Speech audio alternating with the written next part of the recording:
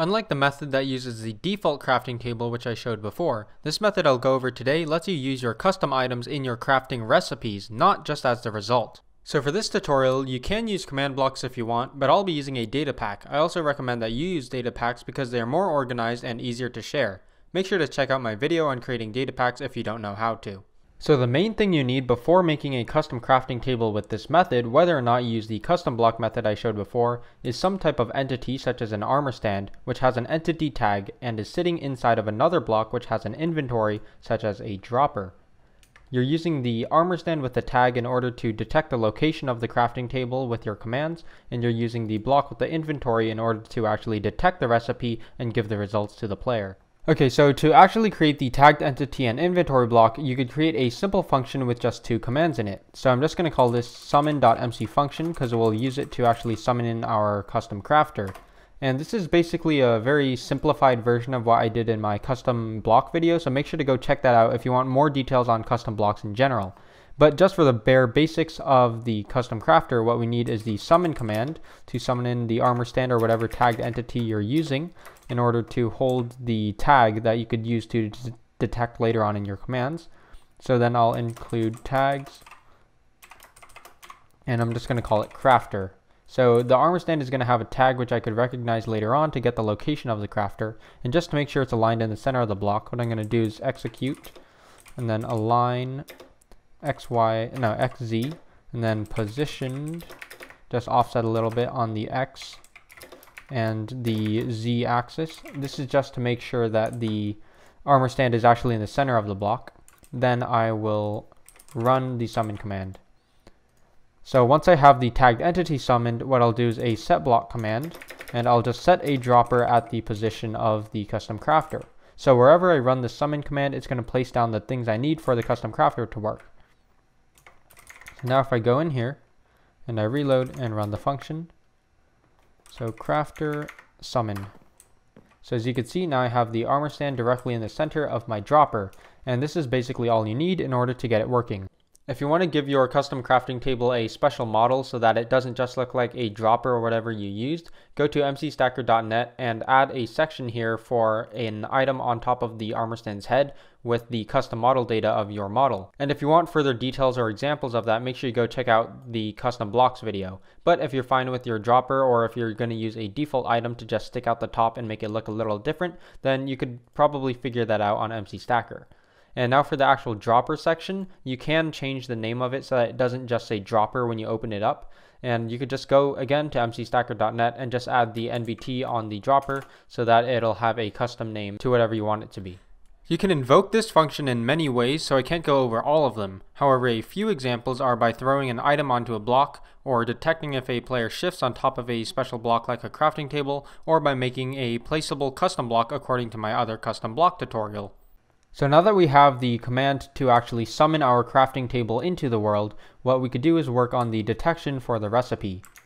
So inside of VS Code, or if you're using command blocks, you could also do the same thing, but it might be a bit weird. But I'll just first create a new function which will run on my crafter. I'll just call it crafter.mc function.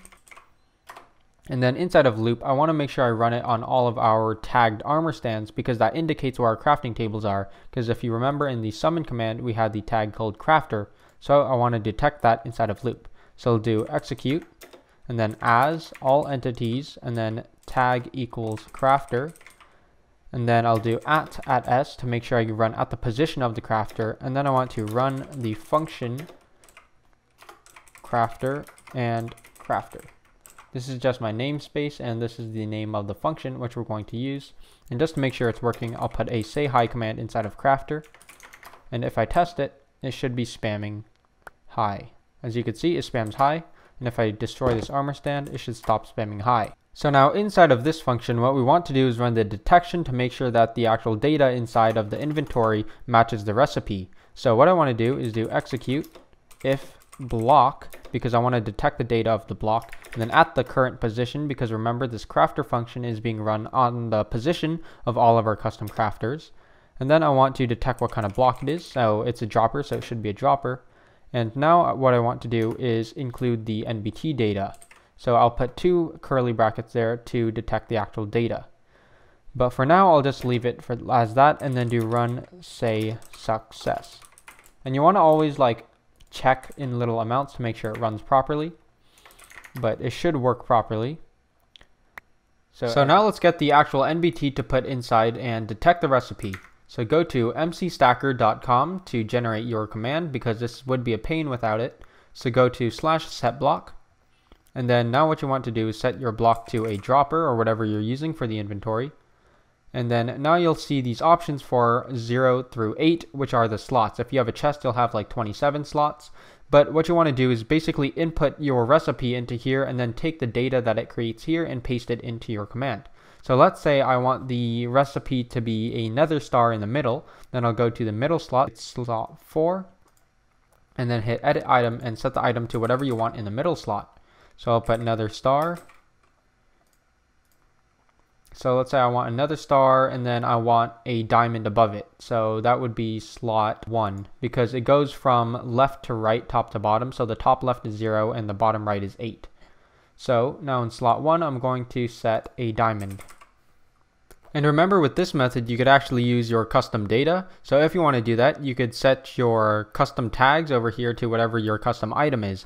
And remember, if you're doing a custom item, you don't need to input all of the data that your custom item has. You just have to check that the tag actually matches. So let's say you have a gun and the tag is gun colon 1b. Then all you have to do is put the custom tag in there and it should detect it just fine. And now what you'll see is it generates the command block output up here. And what you could do is just grab this NBT, So highlight from dropper all the way to the last curly bracket. Command C to copy it or Control C and then just paste that right over here. So now as you'll see, you'll get slot 1B is a diamond and slot 4B is a nether star. And you could also change the counts if you want to, for example, have your recipe take two diamonds above one nether star. You could also do that. So now if I reload, it should not say success unless it has the proper items in the slots. So I'll get a nether star and I'll get a diamond and it should be slot 4 and slot 1. And as you can see, as soon as the recipe matches, it hits success. That means our recipe detection is working just fine. And all we did for that was one command. So now that our detection is working with that one command, what we want to do instead of say success is run the function which will replace the items in the dropper with what we want to have in there for the result. So I'm just going to run function and then we're going to have to create a new function. So crafter and I'll just call it recipe1 since this is just for the first recipe. So inside of here, I'm going to create a new function called recipe1.mc function. And inside of here, we'll have a data merge command, which will replace the contents of the inventory block. So I'll do data merge and then block. And this will change the data of the block. So, and then at the current position, because we're at the crafter right now, and then again, same thing as earlier, we put the two curly brackets because that's where we're going to put our data. So now go back to MC Stacker and do basically the same thing you did for the detection, but now we're going to do the data for the results.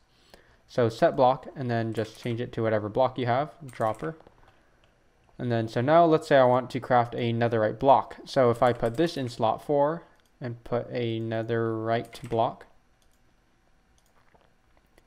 then what I do is just copy this data. Now you don't need the block data, just copy the curly bracket to the other curly bracket. And then now go back in here and paste that data. So now what you'll see is that I have basically the same thing as earlier, but instead of setting a block, I'm merging the data of the block so that it will have a netherite block as its contents. So now if I go back to Minecraft and I reload, what you'll notice is that when I create a successful crafting recipe, oh, then it will actually create a block of netherite. And if you want, we could also add new particles and sounds. So let me just quickly create a play sound command. So I'll do, let's see, player level. And I'll do master players one. So now I'll take that sound and put that inside of our recipe function, which means that the sound will play anytime we create a successful recipe. And you could put basically anything in this function. So if you wanted to do something crazy like make the crafting table explode when you create a crafting recipe, you could do that too. But now if I reload and I actually create the recipe, it should play the noise. And anytime you want to add new recipes to your crafter, just make sure to do the same thing that you did for the detection portion inside of crafter.mc function and create your new recipe function to replace the contents of the inventory block. So here's a quick example using some items from my other data pack. But if I use these rubies, which are custom items, which are actually retextured command blocks, and I put those in there, it forms a ruby block.